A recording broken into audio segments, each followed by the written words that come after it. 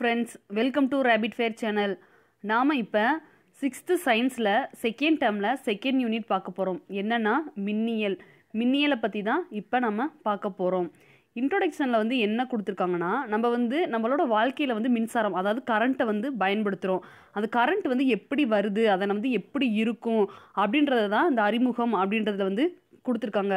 முந்தைய காலத்தில் வந்து வெளிச்சம் இப்போ வந்து நம்ம கரண்ட்டுனே நமக்கு டக்குன்னு ஞாபகம் வருது லைட்டு ஃபேனு இப்போ லைட்டுன்றப்ப நமக்கு வெளிச்சம் கிடைக்குது. அந்த காலத்தில் எப்படி வெளிச்சம் இருக்கும்? அவங்க வந்து என்ன செஞ்சாங்கன்னா எண்ணெய் விளக்குகளை வந்து பயன்படுத்தியிருப்பாங்க. இல்லாட்டி நெருப்பு மூட்டியிருப்பாங்க. இந்த மாதிரி தான் வந்து அந்த காலத்தில் வந்து வெளிச்சத்தை வந்து வச்சு பயன்படுத்திக்கிட்டாங்க. இப்போ நம்ம கரண்ட் மூலமாக ஒரு சுவிட்சை போட்டோன்னு நமக்கு லைட் எரியுது. அது எப்படி லைட் எரியுது? கரண்ட்னா என்ன? மின்சாரம்னா என்னது? மின் சுற்று அதில் மின்கலன் பயன்படுத்துகிறாங்க மின் அடுக்கு என்ன? அதை பற்றினதை தான் அது அந்த பேசிக்கை தான் நம்ம இந்த யூனிட்டில் பார்க்க போகிறோம் மின் மூலங்கள் மின் மூலங்கள் அப்படின்றது வந்து என்ன அப்படின்றத ஸ்டார்டிங்கில் கொடுத்துருக்காங்க.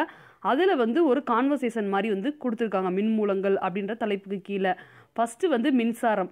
இப்போ வந்து ஒரு பையன் வந்து கேட்குறியா எப்படி வந்து லைட்டு எரியுது அப்படின்னு சொல்லி. அதுக்கு வந்து ஆன்சர் என்ன சொல்கிறாங்கன்னா மின்சாரம் தான் காரணம். இப்போ லைட் எரியறதுக்கு ஃபேன் இந்த மாதிரி எரியறதுக்கு வந்து என் எப்- என்ன காரணம் அப்படின்னா அதில் இருக்கக்கூடிய கரண்ட்டு தான் காரணம். இந்த கரண்ட்டு எங்கேருந்து கிடைக்கிது அப்படின்னா நீர் மின் நிலையங்கள் அனல் மின் நிலையங்கள் காற்றாலை இந்த மாதிரி இருக்க இடங்கள்லேருந்து தான் மின்சாரம் வந்து தயாரிக்கப்படுது அப்படின்றத வந்து கொடுத்துருக்காங்க. நெக்ஸ்ட்டு இந்த மின் மின் மூலங்கள் அப்படின்றது எது எதெல்லாம் சார்ந்த சார்ந்தது அப்படின்னா சூரிய மின்கலன்கள் நீர்மின் நிலையங்கள் அனல் மின் நிலையங்கள் அணு மின் நிலையங்கள் காற்றாலைகள். இந்த மின் மூலங்கள் அப்படின்றது இந்த டயக்ராம் மூலம் வச்சு பார்த்தோம்னா சூரியன் காற்று அணுமின் நிலையங்கள் அனல் மின் நிலையங்கள் நீர்மின் நிலையங்கள். இது ஈஸியாக எப்படி ஞாபகம் வச்சுக்கலாம்னா பஞ்சபூதங்கள் நம்ம சொல்லுவோம். பஞ்சபூதங்கள். அதோட கம்பேர் பண்ணி படிச்சுக்கிட்டோம்னா இந்த அஞ்சுதும் மறக்காது மின் மூலங்கள். காற்று வெப்பம் சூரியன் நீர் நீர்மின் நிலையம் அனல் வந்து வெப்பம். இதை வச்சு நம்ம இதை படிச்சுக்கலாம். அனல் வந்து நெருப்பு சூரியன் ஆகாயத்துக்கு வானத்தில் இருக்குது சூரியன். இப்போ அஞ்சு படித்தாச்சு இன்னும் ஒன்று என்ன? மண் அதை வந்து நம்ம எப்படி ஞாபகம் வச்சுக்கலாம்னா அதுக்கு பதிலாக அணு. அணுன்னு ஞாபகம் வச்சுக்கலாம். நமக்கு தெரியும் அணு அப்படின்றது கண்ணுக்கு தெரியாத சிறிய சிறிய மூலக்கூறுகள். மணலும் எப்படி இருக்கும்? கண்ணுக்கு தெரியாமல் சின்ன சின்ன துகள்களாக இருக்கும். இப்போ அணுமின் நிலையங்களை மணலோட கம்பேர் பண்ணி பஞ்சபூதங்களோட ஒவ்வொன்றையும் நம்ம கம்பேர் பண்ணி ஞாபகம் வச்சுக்கலாம். எதுக்குன்னா மின் மூலங்களுக்கு. இப்போ இந்த மின் மூலங்கள் மின் மூலங்கள் அப்படின்றது என்ன அப்படின்றது வந்து ஒரு டெஃபினிஷன் கொடுத்துருக்காங்க. மின்சாரத்தை உருவாக்கக்கூடிய மூலங்கள் தான் மின் மூலங்கள். மின்சாரத்தை உருவாக்கக்கூடிய மூலங்கள் தான் மின் மூலங்கள் அப்படின்னு வந்து சொல்கிறாங்க இந்த மின் மூலங்களில் இருந்து தான் மின்சாரம் வந்து பெறப்படுகிறது. நம்ம மின் மூலங்கள் அஞ்சு பார்த்தோம். அந்த மின் மூலங்கள்ல இருந்து தான் மின்சாரம் வந்து தயாரிக்கப்படுகிறது இப்போ வந்து என்ன கொடுத்துருக்காங்கன்னா தமிழகத்தில் என்னென்ன மின் நிலையங்கள் இருக்குது அப்படின்னு. நம்ம ஏற்கனவே பார்த்தோம். அனல் மின் நிலையம் நீர் மின் நிலையம் அணு மின் நிலையம் காற்றாலைகள். அனல் மின் நிலையம் எங்கெங்கே இருக்குன்னா கடலூரில் நெய்வேலி. நெய்வேலின்ற இடத்துலையும் எண்ணூர் அப்படின்ற இடத்துலையும் தான் அனல் மின் நிலையம் தமிழகத்தில் இருக்குது இப்போ அனல் மின் நிலையம் இருக்கக்கூடிய இடங்களை நம்ம எப்படி ஞாபகம் வச்சுக்கலாம்னா எனக்கு தெரிஞ்ச ஷார்ட்கட் நான் உங்களோட சொல்கிறேன் இப்போ நெய் இருக்குது நெய்யை எடுத்துகிட்டு போய் அது கொஞ்சம் நமக்கு தெரியும். கொஞ்சம் கெட்டியாக அந்த மாதிரி இருக்க மாதிரி இருக்கும். அதான் வெண்ணெயோட கம்பேர் பண்ணுறப்போ ரொம்ப கொல கொலன்னு இல்லாமல் ஒரு பதத்துக்கு இருக்க மாதிரி நெய் வந்து இருக்கும். அதை வந்து வெயிலில் வைக்கிறப்ப அதாவது அனலில் வைக்கிறப்ப எப்படி ஆகும்னா என்ன மாதிரி ஆகிரும் அப்படின்னு நம்ம ஞாபகம் வச்சுக்கலாம். இது வந்து ஞாபகம் வைக்கிறதுக்காக மட்டும்தான். இப்போ அனல் மின் நிலையங்கள் எங்கெங்க இருக்குன்னா நெய் எண்ணெய் நெய்யை தூக்கிட்டு போய் அனலில் வச்சோம்னா எண்ணெய் ஆகிரும் அப்படின்றத ஞாபகம் வச்சுக்கலாம். அடுத்து நீர்மின் நிலையங்கள். நீர்மின் நிலையங்கள் எங்கெங்கே இருக்குன்னா மேட்டூர்லையும் பாபநாசம் மேட்டூர்லையும் பாபநாசம். இதை எப்படி ஞாபகம் வச்சுக்கலாம்னா பாபநாசம்னா நமக்கு டக்குன்னு ஞாபகம் வந்துடும் அது வந்து ஒரு நீர் சம்மந்தப்பட்ட இடம். பாபநாசம்ன்றது நீர் மின் நிலையம். அப்போ நீரோட நம்ம இதை ஞாபகம் வச்சுக்கலாம்? மேட்டூர் அப்படின்றத எப்படி ஞாபகம் வச்சுக்கலாம்னா நீர் வந்து மேட்டில் நிற்காது மேட்டில் நீர் நிற்காது அப்படின்னு நம்ம ஞாபகம் வச்சுக்கலாம். அப்போ நீர் மின் நிலையத்துக்கு பாபநாசம் மேட்டூர். நெக்ஸ்ட்டு அணு மின் நிலையங்கள். அணு மின் நிலையங்கள் எங்கெங்கே இருக்குன்னா காஞ்சிபுரத்தில் கல்பாக்கம் அப்படின்ற இடத்துலையும் கூடங்குளம் அப்படின்ற இடத்துல இருக்குது இந்த கல்பாக்கம் கூடங்குளத்தை எப்படி ஞாபகம் வச்சுக்கலாம்னா நம்ம ஏற்கனவே பார்த்தோம். அணு மின் நிலையங்கள் அந்த மின் மூலங்கள்லாம் அந்த பஞ்சபூதங்களோட கம்பேர் பண்ணி ஞாபகம் வச்சுக்கலான்னு அப்போ அணு மின் நிலையங்களுக்கு நம்ம என்ன சொன்னோம்னா மணல் மாதிரி கம்பேர் பண்ணிக்கலாம். ஏன்னா அணுன்றது கண்ணுக்கு தெரியாத மூலக்கூறுகள் ஆனது அப்படின்னு நம்ம பார்த்தோம். அப்போ மணலோட கம்பேர் பண்ணோம்னா இங்கே கல் இருக்குது மணல் கல். அப்போ அணுமின் நிலையம்னா மணல் நம்ம ஞாபகம் வச்சுக்கணும். அதோட கம்பேர் பண்ணுறப்ப மணலோட கல்பாக்கம். இந்த க குளத்துக்குள்ளே என்ன இருக்கும்னா கல்லும் மண்ணும் இருக்கும் அப்படின்னு நம்ம ஞாபகம் வச்சுக்கலாம். குளத்துக்குள்ளே கல்லும் மண்ணும் இருக்கும்னா மணல்னா அணுமின் நிலையம். அப்போ அணுமின் நிலையம்னா கல்பாக்கம் கூடங்குளம். ரெண்டு எங்கே இருக்கும்னா குளத்துக்குள்ளே இருக்கும் அப்படின்னு நம்ம ஞாபகம் வச்சுக்கலாம். நெக்ஸ்ட்டு காற்றாலைகள். காற்றாலைகள் எங்கெங்கே இருக்குன்னா ஆரல்வாய் மொழி அப்படின்ற இடத்துலையும் கயத்தாறு அப்படின்ற இடத்துலையும் இருக்குது காற்றாலை எங்கே இருக்குது ஆரல்வாய் மொழி கயத்தாறு. இதை எப்படி ஞாபகம் வச்சுக்கலாம்னா காற்றாலை. காற்றாலைனா நம்ம ஈஸியாக ஒரு சென்டென்ஸ் இருக்குது காற்றின் மொழி காற்றின் மொழி அப்படின்றது சிக்னல் அதாவது பேச முடியாதவங்க அவங்களாம் என்ன மொழி யூஸ் பண்ணுவாங்கன்னா காற்றில் சைகையில் யூஸ் பண்ணுவாங்க. இப்போ காற்றின் மொழின்னு ஞாபகம் வச்சுக்கிட்டோம்னா ஆரல் வாய் மொழி வாய் பேச முடியாதவங்க காற்று மூலமாக அந்த மொழியை வந்து வெளிப்படுத்துவாங்க சைகைகள் மூலமாக இப்போ காற்றாலைனா ஆரல் வாய்மொழி ஆரல் வாய்மொழி நெக்ஸ்ட்டு கா கா கயத்தாறு காற்றாலைனா கயத்தாறு இதை நம்ம ஞாபகம் வச்சுக்கலாம். இதுதான் வந்து என்னென்னா மின் நிலையங்கள் எங்கெங்கே இருக்குது அப்படின்றது. என்னென்னா அனல் மின் நிலையம் நீர் மின் நிலையம் அணு மின் நிலையம் காற்றாலைகள். காற்றாலைகள் வந்து எங்கே இருக்குது அது வரைக்கும் நம்ம பார்த்தாச்சு ஷார்ட்கட்டை ஞாபகம் வச்சுக்கோங்க. நெக்ஸ்ட்டு இந்த மாதிரி இருக்க இடங்களில் எப்படி வந்து மின்சாரம் வந்து பெறப்படுதுன்னா சூரிய ஒளி தகடு மூலமாக மின்சாரம் வந்து பெறப்படுது. அதுக்கப்புறம் இந்த ஒவ்வொரு நிலையங்கள் சொன்னோம்ல ஒவ்வொரு நிலையங்களையும் எப்படி வந்து மின்சாரம் தயாரிக்கிறாங்க அப்படின்றத ஒவ்வொன்றா வந்து தனித்தனியாக எக்ஸ்பிளைன் பண்ணியிருக்காங்க. ஃபஸ்ட்டு ஒன்று வந்து அனல் மின் நிலையம். அனல் மின் நிலையம் அனல்னாலே நமக்கு தெரியும் வெப்பம் ஹீட்டு இதில் மூலமாக மின்சாரம் வந்து தயாரிக்கிறாங்க. அங்கே என்ன செய்வாங்கன்னா நிலக்கரி டீசல் இந்த மாதிரி வாயுக்கள் அல்லது வாயுக்கள் நிலக்கரி டீசல் இந்த மாதிரி அல்லது வாயுக்களை வந்து எரிக்கிறப்ப என்ன ஆகும்னா ஒரு வெப்பம் வந்து உருவாகும். அனல்னா என்ன சொன்னோம்னா வெப்பம் அனல்னா வெப்பம். அப்போ வெப்பத்தை முத உண்டாக்கணும். வெப்பம் எதுலேருந்து உண்டாக்குவாங்கன்னா நீராவி டீசல் நிலக்கரி இந்த இதுலேருந்து வெப்பத்தை வந்து உண்டாக்குவாங்க. அப்போ வெப்பம் உருவாகிறப்ப என்ன ஆகும்னா நீராவி வந்து உருவாகும். இப்போ நார்மலாக நம்ம சமைக்கிறப்பே வந்து மேலே மூடி போட்டோம்னா வெப்பம் கீழே கொடுப்போம். மேலே வந்து நீராவி உருவாகும். அதே மாதிரி நீராவி வந்து உருவாக்கப்படுது. பாத்திரங்களை நம்ம பார்த்துருந்தோம்னா ஒரு பாத்திரத்தில் தண்ணியோ ஏதாவது ஒன்று வச்சு மூடி போகிறப்ப வெப்பம் கொடுப்போம். அதை ஹீட் பண்ணுறப்ப மூடியில் வந்து நீராவி வந்து படிஞ்சிருக்கும். அதே தான் இங்கே நீராவி வந்து உருவாக்கப்படுது. அந்த நீராவி வந்து என்னென்னா அந்த நீராவி மூலமாக டர்பைன் வந்து என்னென்னா இயங்குது. இப்படி ஞாபகம் வச்சுக்கோங்க. டர்பைன் இருக்குது டர்பைன் வந்து இயங்குது. இந்த டர்பைனோட வந்து ரெண்டு சைடும் என்னென்னா மின்காந்தங்களுக்கு இடையில் வந்து இந்த டர்பைன் வந்து இருக்கும். இந்த ரெண்டு மின்காந்தங்களுக்கு இடையில். வந்து இருக்கும் அப்படின்னு வந்து சொல்லியிருக்காங்க. இந்த டர்பைன் வந்து இயங்குறப்ப வந்து என்னாகும்னா ரெண்டு மின்காந்தங்களுக்கு இடையில வந்து ஒரு ரெண்டு கம்பி இருக்கும். ரெண்டு மின்காந்தங்கள்னா ரெண்டு மின்காந்தங்களுக்கு இடையில ரெண்டு கம்பியோட பொருத்தியிருப்பாங்க. அப்போ இந்த டர்பைன் சுத்த சுத்த இந்த மின் கம்பிகளோட சேர்ந்து இந்த மின்காந்தங்கள் வழியாக வந்து என்னென்னா மின்சாரம் வந்து அந்த மின்காந்த தூண்டல் மூலமாக மின்சாரம் உருவாக்கப்படுது. என்னென்னா நீராவி வரைக்கும் உங்களுக்கு தெளிவாக புரிஞ்சிருச்சுல அதுக்கப்புறம் என்னென்னா டர்பைன் இருக்குது ரெண்டு மின் கம்பிகள் இருக்குது இது ரெண்டும் மின் காந்தங்களோட பொருத்தியிருக்காங்க இந்த டர்பைன் இந்த நீராவி படப்பட இது வந்து சுத்த ஆரம்பிக்கும். இப்படி சுற்றுறப்ப என்ன ஆகும்னா இதோட சேர்ந்து மின் கம்பிகள் மூலமாக அந்த மின்காந்தங்களும் வந்து சுற்றி அந்த இந்த மின்காந்தங்கள் வந்து என்ன ஆகும்னா மின்காந்த தூண்டல் வந்து உருவாகும். அது மூலமாக மின்சாரம் வந்து உருவாக்கப்படுது. இப்படி தான் அனல் மின் நிலையத்தில் வந்து என்னென்னா மின்சாரத்தை வந்து தயாரிக்கிறாங்க. நெக்ஸ்ட்டு நீர் மின் நிலையங்கள் நீர் மின் நிலையங்கள்னா இதே தான் பட் வந்து என்னென்னா நீர். இப்போ நீர் மின் நிலையங்கள் அப்படின்றது வந்து எங்கே வந்து இது பண்ணுவாங்கன்னா அணைக்கட்டு. அணைக்கட்டில் என்ன ஆகும்னா நமக்கு தெரியும் தண்ணி வந்து வேகமாக ஓடி வரும். அது வந்து ஒரு இயக்கத்தில் இருக்கும். அணையிலேருந்து தண்ணி வேகமாக ஓடி வரப்போ அது வந்து இயக்கத்தில் இருக்கும். அது வந்து என்னென்னா அந்த இயக்க ஆற்றல் வந்து மின்னாற்றலாக மாற்றப்படுது இந்த இருக்கக்கூடிய நீர் அதாவது மின் மூலங்கள்லேயே அதிக காலம் இயங்கக்கூடிய ஒரு மின் நிலையம் அப்படின்றது நீர் மின் நிலையம் நல்லா ஞாபகம் வச்சுக்கணும். இயக்காற்றல் அந்த இயங்கி கொண்டிருக்க நீர் வந்து மின்னாற்றலாக மாற்றப்படுது. இருக்கிற நிலையங்கள்லேயே நீர்மின் நிலையம் தான் அதிக காலம் இயங்கக்கூடியதாக இருக்குது நெக்ஸ்ட்டு அணுமின் நிலையம். அணுமின் நிலையங்களில் எப்படி வந்து மின்சாரம் தயாரிக்கிறாங்கன்னா அணு அணுனா அணுக்கரு ஆற்றலை கொண்டு மின்சாரம் வந்து தயாரிக்கிறாங்க. அங்கே வந்து என்ன செய்வாங்கன்னா அணுக்கர ஆற்றலை வச்சு நீரை வந்து கொதிக்க வைக்கிறாங்க. அணுனா அணுக்கர ஆற்றலை வச்சு எந்த பேரை வச்சு தான் அந்த மின்சாரம் வந்து தயாரிக்கப்படுது. அப்போ அணு மின் நிலையம்னா அணுக்கர ஆற்றலை வச்சு நீரானது கொதிக்க வைக்க வைக்கிறாங்க. அப்போ அதே மாதிரி நீராவி வரும். இந்த நீராவி மூலமாக டர்பைன் வந்து இயங்கும். இதனால வந்து என்னென்னா மின்சாரம் வந்து உருவாக்கப்படுது. அதுதான் வந்து என்னென்னா அணுமின் நிலையங்களில் மின்சாரம் தயாரிக்கப்படக்கூடிய முறை. நெக்ஸ்ட்டு காற்றாலையில் எப்படி நீரா நீர்மின் நீராற்றல் பார்த்தோமோ அதே மாதிரி காற்றாற்றல் மூலமாக டர்பைன் வந்து சுழலுது. இதனால மின்சாரம் உருவாக்கப்படுது. இதுதான் ஒவ்வொரு மின் நிலையங்கள் மூலமாக மின்சாரம் வந்து உற்பத்தி ஆகக்கூடிய முறைகள்.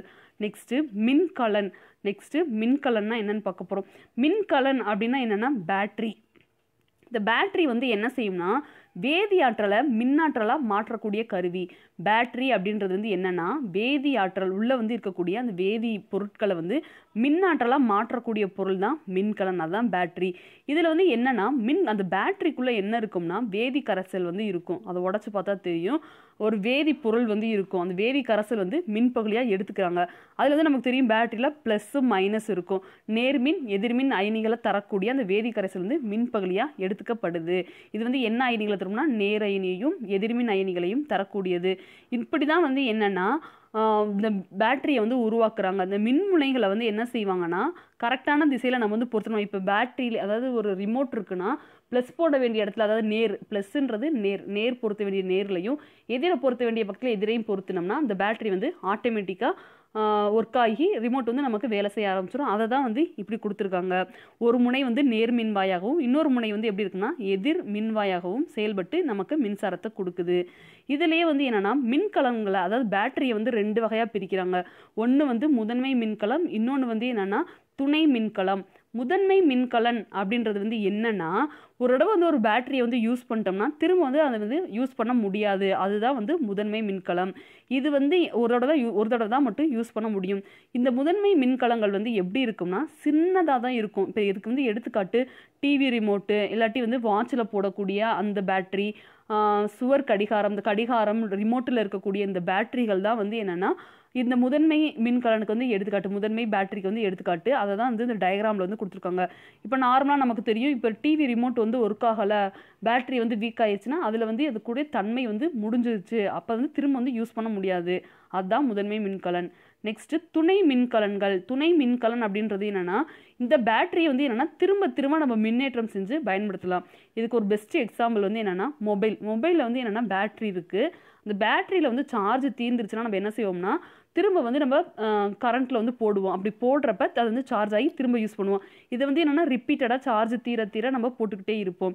இதுதான் வந்து என்னென்னா துணை மின்கலன்கள். இதை வந்து என்னென்னா நிறையா தடவை நம்ம பயன்படுத்தலாம். இதுதான் துணை மின்கலன்களுக்கும் முதன்மை மின்கலத்துக்கும் உரிய டிஃப்ரென்ஸு அதில் வந்து என்ன சொன்னோம்னா அதோட சைஸ் வந்து சின்னதாக இருக்குன்னு பார்த்தோம். எதுக்குன்னா முதன்மை மின்கலம்.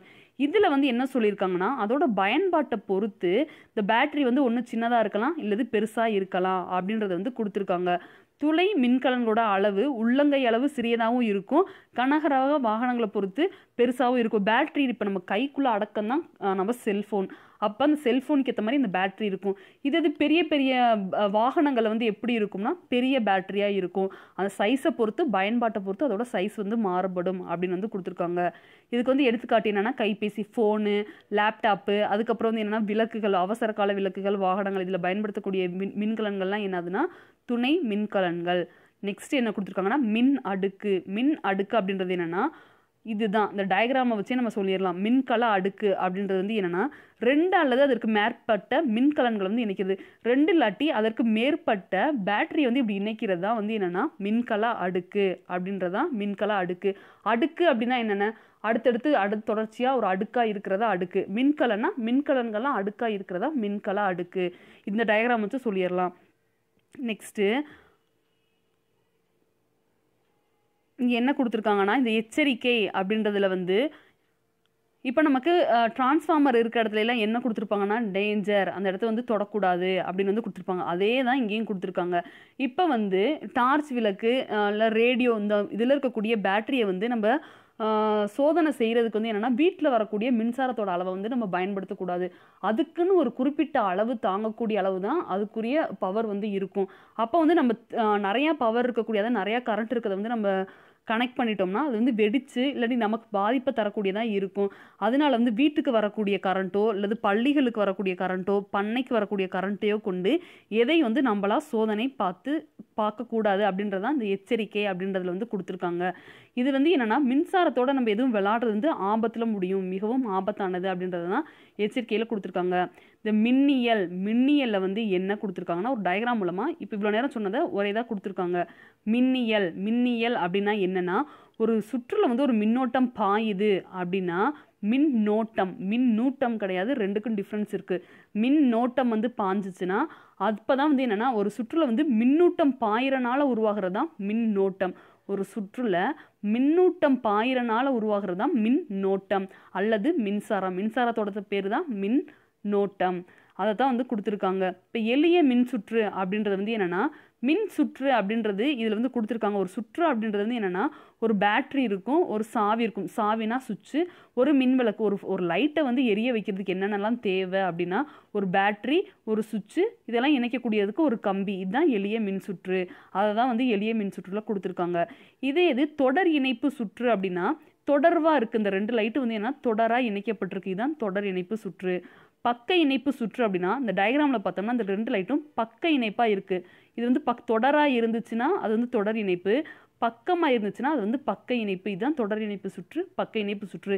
இதுலேயும் வந்து என்னென்னா ஒன்றுக்கு மேற்பட்ட அந்த லைட்டு அதாவது ரெண்டு மூணு லைட்டு ஒரு சுவிட்சு பேட்ரி அப்புறம் இணைப்பு கம்பிகள் வச்சு இதை வந்து உருவாக்குறாங்க. நெக்ஸ்ட்டு முதன்மை மின்கலம் துணை மின்கலம் இணைப்பு கம்பினா என்ன அப்படின்னு கொடுத்துருக்காங்க. முதன்மை மின்கலம்னா நமக்கு நல்லா தெரியும். ஒரு முறை மட்டும்தான் பயன்படுத்த முடியும். துணை மின்கலம் அப்படின்றதுனா திரும்ப திரும்ப நம்ம சார்ஜ் ஏற்றி அதை யூஸ் பண்ணிக்க முடியும். அதுதான் வந்து துணை மின்கலம். இணைப்பு கம்பி அப்படின்றது வந்து என்னென்னா இதில் வந்து பார்த்தோம்ல இப்போ லைட்டி லைட்டு பேட்ரி இந்த சுவிட்சு இதை மூணையும் இணைக்கக்கூடியதுக்கு ஒரு கம்பி வந்து பயன்படுத்துகிறோம்ல அதுதான் இணைப்பு கம்பி. நார்மலாக என்னென்னா ஒரு வயர் நமக்கு தெரியும் அந்த வயரை சுற்றி என்னென்னா இப்போ வயருக்குள்ளே இருக்கக்கூடிய அந்த கம்பி வழியாக மின் நூட்டம் வந்து பாயுது. அதனால் நமக்கு மின்னோட்டம் வந்து கிடைக்குது. இப்போ இது வந்து நம்ம தொட்டோம்னா சாக்கடிச்சிரும். சாக்கடிக்காமல் இருக்கிறதுக்காக தான் வெளியே வந்து என்ன செஞ்சாங்க ஒரு வயர் அதாவது ஒரு பிளாஸ்டிக்கான ஆன ஒரு பொருள் வந்து பொருத்திருப்பாங்க ஒரு ஃபைபர் இது வந்து என்ன செய்யணும் மின்சாரத்தை வந்து கடத்தாது. அதனால் நம்ம வந்து ஈஸியாக வந்து தொட முடியும். அதுதான் மின் இணைப்பு கம்பி அப்படின்னு வந்து கொடுத்துருக்காங்க. நெக்ஸ்ட்டு வந்து என்னென்னா மின் சுற்றுகள் மின் சுற்று அப்படின்றதுல வந்து என்ன கொடுத்துருக்காங்கன்னா ஒரு டயக்ராம் மின் சுற்று அப்படின்றதுல வந்து என்ன கொடுத்துருக்காங்க அப்படின்னா இந்த டயக்ராமை வச்சு எக்ஸ்பிளைன் பண்ணியிருக்காங்க. ஒரு ஒரு பேட்ரி இருக்குது பேட்டரியை வச்சு ஒரு டார்ச் லைட்டை வந்து எப்படி இயங்க வைக்கிறது? அதுதான் வந்து மின் சுற்று அப்படின்னு வந்து கொடுத்துருக்காங்க. இந்த மின் சுற்றில் வந்து என்னாகும்னா பேட்டரியிலேருந்து பாசிட்டிவ் அதாவது பாசிட்டிவ்ல இருந்து என்னென்னா எதிர்முனைக்கு எதிர்முனைனா நெகட்டிவ் இதுக்கு வந்து என்னென்னா மின்னூட்டம் வந்து பாயுது. மின்னூட்டம் எங்கேருந்து எங்கே பாயுதுன்னா பாசிட்டிவ்லேருந்து நெகட்டிவ்க்கு மின்னூட்டம் வந்து பாயுது. இது வந்து என்னென்னா ஒரு தொடர்ச்சியாக இப்படியே நடந்துக்கிட்டே இருக்கும். இது வந்து என்னென்னா ஒரு மூடிய சுற்றுக்குள்ளே நடக்கும். மூடிய பாதை. இதுதான் வந்து என்னென்னா மின் சுற்று அப்படின்னு சொல்கிறாங்க மின் சுற்று அப்படின்றது என்னென்னா மின் களத்தில் ஒரு பேட்டரியில் மின்னூட்டம் வந்து பாசிட்டிவ்லேருந்து நெகட்டிவ்க்கு வந்து என்னென்னா தொடர்ச்சியான மூடிய பாதையில் இயங்கக்கூடியதான் மின் சுற்று அப்படின்னு வந்து கொடுத்துருக்காங்க. இப்போ வந்து என்னென்னா இப்போ ஒவ்வொன்றும் பார்த்தோம். இணைப்பு கம்பிகள் மின்விளக்கு சுவிட்சு மின்கலன் அப்படின்னு. அது ஒவ்வொன்றும் என்ன வேலையை வந்து செய்யுது அப்படின்னு வந்து கொடுத்துருக்காங்க. மொதல் மின்கலன் அல்லது மின்கல அடுக்கு மின்கலன் அப்படின்றது பேட்ரி இது வந்து என்னென்னா மின்னோட்டத்தை தரும். இந்த மின்கலன் அதாவது பேட்டரியில் வந்து என்னென்னா மின் நூட்டம் பாயிறனால மின் நோட்டம் வந்து நமக்கு கிடைக்கிது. அதாவது மின்சாரம் வந்து அது வந்து தரும் அதை தான் கொடுத்துருக்காங்க. இணைப்பு கம்பி அப்படின்றதுனா ஒன்று இணைக்கிறதுக்கு வந்து பயன்படுது. இணைப்பு கம்பினால இணைக்கிறதுக்கு இது வந்து என்ன செய்யணும் இதோட வேலையை வந்து அந்த மின்னோட்டத்தை வந்து எடுத்து சொல்லக்கூடிய வேலை. மின்னோட்டம் அதாவது கிடச்சிருக்கக்கூடிய மின்சாரத்தை எடுத்து சொல்லக்கூடிய வேலை தான் இணைப்பு கம்பியோட வேலை. மின் விளக்கு மின் விளக்கு அப்படின்றது வந்து என்னென்னா மின்னாற்றலை பயன்படுத்தும். நமக்கு கிடைக்கிற மின்னாற்றலை ஒரு இதை வச்சு நம்ம டெஸ்ட் பண்ணுறோம் மின்னாற்றல் அதில் வருதா வரலையா? அதாவது கரண்ட் அதில் வருதா வரலையான்னு டெஸ்ட் பண்ணுறது தான் அது அது வந்து என்னென்னா மின் விளக்கு. அப்படின்றது ஒரு லைட்டு இந்த லைட்டு எரிஞ்சிச்சுன்னா மின்னாற்றல் வந்து பெற்றிருக்கு. அதாவது கரண்ட் வந்திருக்கு. அதை தான் மின் ஆற்றலை வந்து பயன்படுத்தக்கூடிய அமைப்பு. லைட் எரியலைன்னா அதில் வந்து கரண்ட் வந்து பாஸ் ஆகலை அப்படின்றது தான் நெக்ஸ்ட்டு சாவி. இப்போ நமக்கு தேவைப்பட்டால் சுவிட்சை ஆன் பண்ணிக்கலாம். தேவைப்படாட்டி சுவிட்சை ஆஃப் பண்ணிக்கலாம். அதுதான் சாவி சுவிட்சு அதை வந்து என்னென்னா நம்ம நிறுத்துறதுக்கோ இயலும் இயங்க வைக்கிறதுக்கோ பயன்படுத்திய அமைப்பு தான் வந்து சாவி. நெக்ஸ்ட்டு திறந்த முன் சுற்று. திறந்த மின் சுற்று மூடிய மின் சுற்று. திறந்த மின் சுற்று அப்படின்னா ஒரு பேட்ரி இருக்குது ஒரு சுவிட்ச் இருக்குது ஒரு லைட் இருக்குது திறந்த அப்படின்னா என்னென்னா சாவி அதாவது சுவிட்சை வந்து என்னென்னா ஆன் பண்ணாமல் ஆஃப் நிலையில் வச்சுருக்குது ஆஃப் நிலையில் இருந்தால் லைட்டு எரியாது. அதுதான் திறந்த மின் சுற்று. அப்போ லைட்டு எரியாது. அதை தான் வந்து கொடுத்துருக்காங்க தமிழில். இப்போ வந்து லைட் எரியலை. இதே மூடிய மின் சுற்று அப்படின்னா என்னென்னா சுவிட்சை வந்து என்னென்னா ஆன் பண்ணியிருப்போம் சுவிட்சை ஆன் பண்ணுறப்ப என்ன ஆகும்னா அந்த மின் சுற்றில் வந்து என்னென்னா மின்னோட்டம் வந்து பாஞ்சு லைட்டு வந்து எரியும். மு திறந்தன்னா சுவிட்சு வந்து ஆஃபில் இருக்கும். மூடியன்னா சுவிட்சு வந்து ஆனில் இருக்கும். சுவிட்சு அப்படின்றது எப்படி குறிப்பாங்கன்னா இதுதான் அந்த சுவிட்சு அதாவது சாவி. இது வந்து திறந்த நிலை. இப்போ இது வந்து மூடிய நிலை. இப்போ வந்து இந்த சுவிட்சு வந்து மூடிருச்சு. இது வந்து திறந்த நிலையில் இருக்குது இதோட ஜாயிண்ட் ஆனால் மூடிய நிலை. அதை தான் திறந்த மின்சுற்று மூடிய மின்சுற்றில் கொடுத்துருக்காங்க. நெக்ஸ்ட்டு மின்னோட்டம் பாயும். இது வந்து நம்ம பார்த்துட்டோம். இப்போ மின் சுற்றோட வகைகள் மின் சுற்றுல நம்ம பார்த்தோம் திறந்த மின் சுற்று மூடிய மின் சுற்று இப்போ அந்த மின் சுற்றோட வகைகள் வந்து மூணு கொடுத்துருக்காங்க. எளிய மின் சுற்று தொடர் இணைப்பு பக்க இணைப்பு. நம்ம ஃபஸ்ட்டு பார்த்த டயக்ராமில் எளிய மின் சுற்றுனா ஒன்றும்ல அதே ஒரு சுவிட்சு ஒரு லைட்டு ஒரு பேட்ரி இது மூலமாக ஒரு சின்ன ஒரு சுற்று எளிமையான ஒரு மின் சுற்றை உருவாக்குறது தான் எளிய மின் சுற்று இதே இது தொடர் இணைப்பு மின் சுற்று அப்படின்னா தொடராக இந்த லைட்டுகளை வந்து இணைச்சிருக்கோம். தொடராக நம்ம இணைக்கக்கூடியது என்னென்னா லைட்டு. நம்ம வந்து ஆற்றலை எது மூலமாக பெறுறோம் அதாவது கரண்ட் இருக்கா இல்லையா நம்ம டெஸ்ட் பண்ணக்கூடியது எது? லைட்டை வச்சு. அப்போ அந்த எந்த பொருளோ அதை தான் தொடராவோ பக்கமாகவோ இணைக்கணும். நம்ம பேசாமல் ஞாபக மறதியில் பேட்ரி அப்படின்னு வந்து படிச்சிடக்கூடாது. எதை இணைக்கிறோம்னா மின்னாற்றலை பெறக்கூடிய அமைப்பு. அந்த பொருள் என்னென்னா லைட்டு அதை தான் தொடர் இணைப்பில் வந்து இணைச்சிருக்கோம். சாவி ஒரு மின்கலன் அதுக்கப்புறம் வந்து என்ன தொடர்ச்சியாக இணைக்கப்படுறதுக்கா மின் விளக்குகள் அந்த வந்து தொடராக இணைச்சிருக்கோம். இதில் வந்து என்ன ஒரு டிஸ்அட்வான்டேஜ்னால் இதில் வந்து இப்போ கரண்ட் வந்து பாஸ் ஆகிறப்ப சுவிட்ச் வந்து மூடிச்சு அதாவது சுவிட்சை ஆன் பண்ணிட்டோம்னா லைட் வந்து கண்டினியூஸாக பாஸ் ஆகி கரண்ட்டு எல்லா லைட்டும் எரியும். சப்போஸ் இந்த இடையில இருக்கக்கூடிய ஒரு லைட்டு வந்து எரியலை அதில் வந்து டேமேஜாக இருக்குன்னா இந்த அடுத்து இருக்க லைட்டுக்கு வந்து என்னென்னா கரண்ட் வந்து பாஸ் ஆகாது. அது வந்து என்னென்னா ஒரு டிஸ்அட்வான்டேஜாக அந்த தொடர் இணைப்பில் இருக்குது இதே இது பக்க இணைப்பு அப்படின்றப்ப என்னன்னா ஒவ்வொரு இந்த மின்னாற்றலை பெறக்கூடிய அமைப்புக்கும் ஒரு சாவி இருக்கும். ஒவ்வொரு அமைப்புக்கும் ஒரு சாவி இருக்கும். இந்த இணைப்பு வந்து எப்படி இருக்குன்னா பக்க இணைப்பாக இருக்கும். தொடராக இல்லாமல் பக்க இணைப்பாக இருக்கும். இதில் வந்து என்னென்னா ஏதாவது ஒரு சைடு வந்து பழுதடைஞ்சாலும் அடுத்தது வந்து இயங்கக்கூடியதாக இருக்கும். இது மாதிரி பத்து இது இருந்தாலும் இடையில ஒன்று டேமேஜாக இருந்தாலும் எல்லாமே எரியக்கூடியதாக இருக்கும். இது தொடர் இணைப்பில் பத்துமே இருந்து ஃபஸ்ட்டு ஒன்றே டேமேஜ் ஆயிடுச்சுன்னா எதுவுமே எரியாது. அதுதான் வந்து தொடர் இணைப்புக்கும் பக்க இணைப்புக்கும் உள்ள வித்தியாசம்.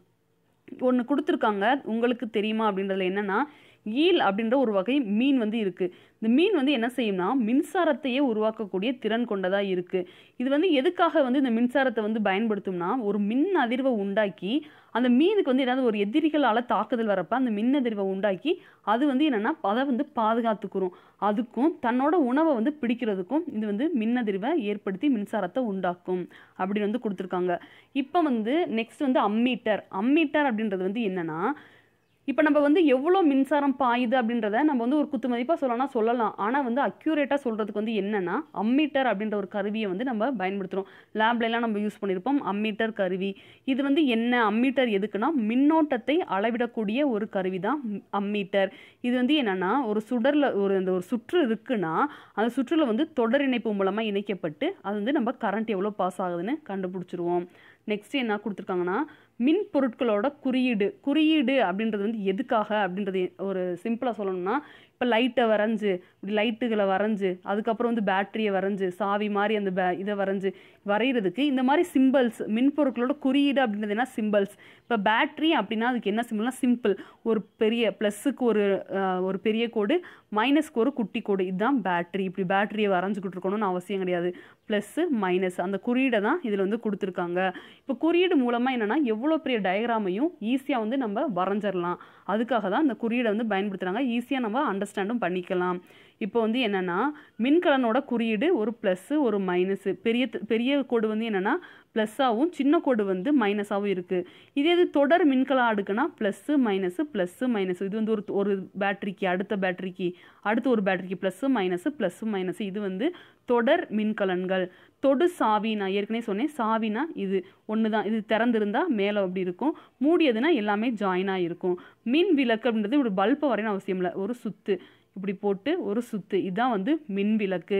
இதே இது வந்து ஒளிரலை. ஒளிரலை ஒளிருது. அதாவது கரண்ட் பாஸ் ஆகுது அப்படின்றத நம்ம எப்படி மென்ஷன் பண்ணணும்னா இப்படி ஒரு இது ஒளிர்ற மாதிரி போடணும். இப்போ சூரியனுக்குலாம் போடுவோம்ல அதே மாதிரி போட்டுட்டோம்னா அதில் வந்து கரண்ட் பாஸ் ஆகி லைட் எரியுது. அது வந்து ஒளிரும் தன்மை இது வந்து ஒளிரவில்லை அப்படின்றதுக்கு கொடுத்துருக்காங்க. இணைப்பு கம்பிகளுக்கு இப்போ வயர் வரைஞ்சிடும் இப்படி இப்படி சுற்றி சுற்றி வரையணும் அவசியம் இல்லை. ஒரு ஸ்ட்ரைட் கோடு இணைப்பு கம்பினா அதுதான் வந்து மின்சாதனங்களை இயக்கக்கூடிய ஒரு மின் கம்பி அதுக்கு வந்து குறியீடு ஸ்ட்ரைட் லைன் நெக்ஸ்ட்டு மின் கடத்திகள் அறுதில் கடத்திகள். மின் கடத்தினா என்னது? அறுதிர் கடத்தி. அது எந்த பொருள் வந்து மின்சாரத்தை கடத்தும்? எந்த பொருள் வந்து மின்சாரத்தை கடத்தாது? அப்படின்னு வந்து கொடுத்துருக்காங்க. மின் கடத்திகள் மின்னூட்டங்கள் வந்து எது மூலியமெல்லாம் பாயுதோ அதாவது கரண்ட் எதுலெல்லாம் பாயுதோ அது வந்து மின் கடத்தி மின்னூட்டம் எந்த இதுலெல்லாம் பாயுதா? அது வந்து மின்னோட்டம் அப்படின்னு வந்து சொல்கிறோம் அந்த மின்னோ மின்னூட்டத்தை செலுத்தக்கூடிய அமைப்பு பேர் தான் மின் கடத்தி அதுக்கு எடுத்துக்காட்டு வந்து என்னென்னா தாமிரம் இரும்பு அலுமினியம் மாசுபட்ட நீர் மாசுபட்ட நீர் புவி இது எல்லாமே வந்து என்னென்னா மின்சாரத்தை வந்து கடத்தும். அரிதிர் கடத்தி அப்படின்னா என்ன மீனிங்னா மின்சாரத்தை கடத்தா பொருள். இப்போ பேப்பரு பிளாஸ்டிக்கு கண்ணாடி டம்ளர் இது எல்லாமே வந்து என்ன செய்யும்னா மின்சாரத்தை கடத்தாது. இது வந்து என்னென்னா மின்னூட்டங்களை அனுமதிக்காது. அதுதான் வந்து அரிதிர் கடத்திகள். இதுக்கு எடுத்துக்காட்டு பிளாஸ்டிக் கண்ணாடி மரம் ரப்பர் பீங்கான் எபோனைட் இதெல்லாம் வந்து என்னென்னா அரிதிர் கடத்திகள். நெக்ஸ்ட் வந்து என்ன கொடுத்துருக்காங்கன்னா ஒருத்தவங்களுக்கு வந்து இப்போ எல்லாமே கரண்ட் எப்படி உருவாகுது? பேட்டரி லைட் எல்லாமே பார்த்துட்டோம். இதே இது இப்போ ஒரு கரண்ட்டுன்னு தெரிஞ்சிருச்சு. எலக்ட்ரிக் ஷாக் வந்து ஒருத்தவங்களுக்கு அடிக்குது. அதாவது ஷாக் அடிக்குது. அப்போ அவங்கள எப்படி காப்பாற்றணும் அவங்களுக்கு வந்து காப்பாற்றுறதுக்கு நம்ம என்னென்ன செய்யணும் அப்படின்றது வந்து கொடுத்துருக்காங்க. இப்போ மின் அதிர்வு காரணம் அதாவது கரண்ட் அடிக்கிறதுக்கு காரணமாக இருக்கும்ல. இப்போ சுவிட்சை தொட்டு அவங்களுக்கு ஷாக் அடிக்குதுன்னா அந்த இணைப்பு அதை வந்து எப்படி வந்து இந்த சுவிட்சில் இருக்கக்கூடிய கனெக்ஷனை கட் பண்ண முடியுமோ இந்த மின் இணைப்பை வந்து மொதல் அணைக்கணும் அப்படின்னு கொடுத்துருக்காங்க. நெக்ஸ்ட்டு சாவியிலிருந்து இணைப்பை துண்டிக்கணும். அந்த சுவிட்சில் இருந்து அந்த இணைப்பை வந்து துண்டிக்கணும் அப்படின்னு வந்து கொடுத்துருக்காங்க. நெக்ஸ்ட்டு ஏதாவது ஒரு மின் கடத்தா பொருள் இருக்குல்ல அதை வச்சு மின் கம்பியோட தொடர்புலேருந்து அதை வந்து தள்ளி விடணும். இப்போ நம்ம கட்டையெல்லாம் எடுத்து தட்டுவோம் துணியை வச்சு இழுப்போம்ல அந்த மாதிரி மின் கடத்தா பொருளை வச்சு அதோட கனெக்ஷனை வந்து அதை தொடர்புலேருந்து தள்ளணும் அப்படின்னு வந்து கொடுத்துருக்காங்க. நெக்ஸ்ட் என்ன கொடுத்துருக்காங்கன்னா யார் பாதிக்கப்பட்டாங்களோ அவங்களுக்கு முதலுதவி முதலுதவி செஞ்சு ஃபஸ்ட் எய்ட் ட்ரீட்மெண்ட் எடுத்து அவங்களை வந்து ஹாஸ்பிட்டலுக்கு கூட்டிகிட்டு போகணும் அப்படின்னு வந்து கொடுத்துருக்காங்க. நெக்ஸ்ட்டு என்ன கொடுத்துருக்காங்கன்னா எடிசன் நமக்கு நல்லா தெரியும். தாமஸ் ஆல்வா எடிசன் அவர் பிப்ரவரி மாதம் பிறந்திருக்காரு. அக்டோபரில் இருந்திருக்காரு. இறந்துட்டாரு. இவர் வந்து ஒரு அமெரிக்காக்காரர் அமெரிக்க கண்டுபிடிப்பாளர். இவர் நம்ம பயன்படுத்தக்கூடிய ஆயிரத்துக்கு மேற்பட்ட ஆயிரத்துக்கு மேற்பட்ட பொருட்களை வந்து நம்ம இவர் கண்டுபிடிச்ச பொருட்களை தான் நம்ம பயன்படுத்துகிறோம் ஒரு பெஸ்ட் எக்ஸாம்பிள் என்னென்னா ஒரு லைட்டு நம்ம வீட்டில் பயன்படுத்தக்கூடிய மின்விளக்கை கண்டுபிடிச்சது யாருன்னா தாமஸ் ஆல்வா எடிசன். இந்த செயல்பாட்டில் என்ன கொடுத்துருக்காங்கன்னா தாமிர தகடு துத்தநாக தகடு தாமிரம் துத்தநாகம். அதை வந்து என்னென்னா சாதம் படித்த கஞ்சி இருக்குல்ல அதோட கனெக்ட் பண்ணுவாங்க ரெண்டு கண்ணாடி குடுவை எடுத்திருக்காங்க. இது வந்து தாமிரம் இது வந்து துத்தநாகம். தாமிரம் துத்தநாகம் இது ப்ளஸ்ஸு இது மைனஸு இது ப்ளஸ்ஸு மைனஸ் இது வந்து ஜாயின் பண்ணியிருக்காங்க. டயக்ராம் அப்படியே தான் இருக்குது இது வந்து என்னென்னா இதில் வந்து மின்சாரம் வந்து பாயுதா பாயலையா அப்படின்னு வந்து கேட்டிருக்காங்க. இதை வச்சு கேட்டுட்டு என்ன சொல்லியிருக்காங்கன்னா இப்போ அந்த வடித்த கஞ்சிக்கு பதிலாக தயிர் உருளைக்கிழங்கு எலுமிச்சம்பழம் இதெல்லாம் வந்து பயன்படுத்தி நம்ம பார்க்கலாம். இதுலலாம் வந்து என்னென்னா மின்சாரம் வந்து பாயும் அப்படின்னு வந்து கொடுத்துருக்காங்க. நெக்ஸ்ட்டு பாடம் முடிஞ்சிருச்சு. இப்போ நினைவில் கொள்கை இப்போ படிச்சதுல நினைவில் கொள்கை அப்படின்றதுல வந்து கொஞ்சம் பாயிண்ட்ஸ் வந்து கொடுப்பாங்களா? அதை பார்க்க போகிறோம் மின்சாரத்தை உருவாக்கக்கூடிய மூலங்கள் என்னென்னா மின் மூலங்கள். நம்ம பார்த்தோம் அனல் மின் நிலையங்கள் நீர் மின் நிலையங்கள் காற்றாலைகள் அணு மின் நிலையங்கள். இதெல்லாமே வந்து என்னென்னா மின் மூலங்கள். வேதி ஆற்றலை மின்னாற்றலாக மாற்றக்கூடிய கலன் மின்கலன் பேட்டரியோட வேலையே என்னென்னா உள்ளே வந்து நம்ம சொன்னோம் ஒரு வேதிப்பொருள் இருக்கும். அந்த வேதி ஆற்றல் அந்த வேதிப்பொருளில் இருக்கக்கூடிய வேதி ஆற்றலை மின்னாற்றலாக மாற்றக்கூடியதான் பேட்டரியோட வேலை. இப்போ வந்து தொடர்ச்சியாக வந்து மின் க மின்னோட்டத்தை வந்து வழங்குறதுல பேட்டரி வந்து நம்ம ரெண்டு வகையாக பிரித்தோம் ஒன்று முதன்மை இன்னொன்று துணை. முதன்மை அப்படின்றது வந்து என்னென்னா ஒரு தடவை மட்டும்தான் யூஸ் பண்ண முடியும். பெஸ்ட் எக்ஸாம்பிள் வாட்சில் இருக்கக்கூடிய பேட்டரி இல்லாட்டி ரிமோட்டில் இருக்கக்கூடிய பேட்டரி. இதே இது துணை மின்கலம் அப்படின்னா திரும்ப திரும்ப நம்ம சார்ஜ் ஏற்றி பயன்படுத்தலாம். அதுதான் துணை மின்கலம். இதுக்கு வந்து ஃபோனில் இருக்கக்கூடிய பேட்ரி இப்போ இரண்டு அல்லது அதுக்கு மேற்பட்ட இன் மின்கலன்களை இணைச்சி உருவாக்கப்படக்கூடிய அடுக்கு மின்கல அடுக்கு பேட்டரியை அடிக்கடிக்கு நம்ம பார்த்தோம்ல அது வந்து என்னென்னா மின்கல அடுக்கு அப்படின்னு வந்து சொல்கிறாங்க இப்போ மின் சுற்று அப்படின்னா என்னென்னா மின் சுற்று அப்படின்றது வந்து என்னன்னா மின் களத்தில் நேர்முனையிலிருந்து எதிர்முனைக்கு வந்து மின்னூட்டம் வந்து தொடர்ச்சியாக போகிறதான் மின் சுற்று. நேர்முனையிலிருந்து எதிர்முனைக்கு மின்னூட்டம் வந்து தொடர்ச்சியாக போகிறது தான் மின் சுற்று அப்படின்னு வந்து சொல்கிறாங்க ஒரு மின் சுற்றில் என்னென்ன பொருட்கள்லாம் இருக்கும்னா ஒரு பேட்டரி ஒரு சுவிட்சு ஒரு லைட்டு அந்த இணைப்பு கம்பிகள் மின்கலன் சாவி மின்விளக்கு இணைப்பு கம்பி இதெல்லாம் வந்து இருக்கும். அதான் வந்து மின் சுற்று அப்படின்னு வந்து சொல்கிறோம் அதுக்கப்புறம் வந்து என்னென்னா தொடர் இணைப்பு மின் சுற்று தொடர் இணைப்பு அப்படின்றது என்னென்னா அந்த லைட்டை வந்து தொடராக இணைச்சிருந்து பார்த்து படித்தோம்ல அதுதான் தொடர் இணைப்பு மின் சுற்று. தொடராக இணைக்கப்பட்டிருந்தால் அந்த மின் விளக்குகள் அது வந்து தொடர் இணைப்பு மின் சுற்று. இது பக்க இணைப்பு அப்படின்னா அந்த லைட்டு வந்து பக்க பக்க வடிவில் இணைக்கப்பட்டிருந்தால் அது வந்து பக்க இணைப்பு மின் சுற்று அப்படின்னு வந்து சொல்கிறாங்க நெக்ஸ்ட் வந்து என்னென்னா குறியீடு படித்தோம் குறியீடு வந்து எதுக்காகனா அந்த படங்களை வந்து ஈஸியாக வந்து நம்ம படிக்கிறதுக்கும் எளிதில் வந்து புரிஞ்சு கொள்றதுக்கும் தான் இந்த குறியீடுகளை வந்து நம்ம யூஸ் பண்ணுறோம் அப்படின்றது வந்து கொடுத்துருக்காங்க. நெக்ஸ்ட்டு மின் கடத்தி. மின்னூட்டங்களை தங்கள் வழியாக செல்ல அனுமதிக்கக்கூடிய பொருட்கள் மின் கடத்திகள் எனப்படும் அப்படின்னு சொல்லியிருக்காங்க. மின் கடத்தா பொருட்கள் அப்படின்னா தன் வழியாக செயல்படுத்தாது. அதுதான் மின் கடத்தா பொருட்கள். நெக்ஸ்ட்டு மக்களோட விஞ்ஞானின்னு மைக்கேல் ஃபாரடே அவரை பற்றி கொடுத்துருக்காங்க. இதில் வந்து ஷார்ட்டாக சொல்லணும்னா என்னென்னா அவருக்கு வந்து படிப்பு வராது ஒரு படிப்பு வராமல் இருந்திருக்காரு. அவர் ஒரு திக்கு வாயாக இருந்திருக்காரு. அப்படி இருந்தவர் புக் பைண்டிங் பண்ணுற இடத்துல வேலை செஞ்சுருக்காரு. அங்கே அவங்க புக் பைண்டிங் பண்ண வருவாங்கல்ல அந்த புக்குகளை வரக்கூடிய இன்ஃபர்மேஷனை படித்து படித்து தான் அவரோட நாலேஜை வந்து வளர்த்துக்கிட்டாரு. இவர் வந்து என்னென்னா அம்ப்ரி டேவி அவரோட ஒரு சொற்பொழிவை கேட்டு அவரும் அதுக்கேற்ற மாதிரி சயின்டிஸ்ட்டாக மாறி இருக்காரு அவரோட சொற்பு சொற்பொழிவுனால ஆட்கொள்ளப்பட்டு என்னென்னா அவர்கிட்டயே வேலைக்கு சேர்ந்து இவரும் சயின்டிஸ்ட்டாக ஆயிருக்காரு. இவர் கண்டுபிடிச்சது தான் என்னென்னா பாரடே டைனமோ டைனமோவை இவர் கண்டுபிடிச்சாரு. அதனால தான் இவர் பேர் வந்து வச்சுருக்காங்க. Michael Faraday. இவருக்கு கொடுத்த விருதை கூட என்னென்னா வேணாம் அப்படின்னு வந்து சொல்லிட்டாரு. நான் வந்து மக்களுக்கே வந்து சாதாரண விஞ்ஞானியாக இருந்துக்கிறேன் அப்படின்னு வந்து சொல்லியிருக்காரு. அதுதான் மைக்கேல் இவரை பற்றி கொடுத்துருக்காங்க. மைக்கேல் ஃபாரடே அவர்களை பற்றி அவர் இருந்த ஆண்டு வந்து என்னென்னா ஆயிரத்தி எழுநூற்றி தொண்ணூற்றி ஒன்று டு ஆயிரத்தி எண்ணூற்றி அறுபத்தி ஏழு. நெக்ஸ்ட்டு புக் பேக் கொஸ்டின் வந்து பார்க்க போகிறோம் பொருத்தமான விடையை தேர்ந்தெடுக்கவும். ஃபஸ்ட்டு ஒன்று வேதி ஆற்றலை மின்னாற்றலாக மாற்றக்கூடிய சாதனம் எதுனா? மின்கலன். நம்ம பார்த்தோம் வேதி ஆற்றலை மின்னாற்றலாக மாற்றக்கூடியது மின்கலன். மின்சாரி மின்சாரம் தயாரிக்கப்படும் இடம் எது? மின் உற்பத்தி நிலையம். மின் உற்பத்தி நிலையத்தில் தான் மின்சாரம் தயாரிக்கப்படுது. மின்கல அடுக்கின் சரியான குறியீடு.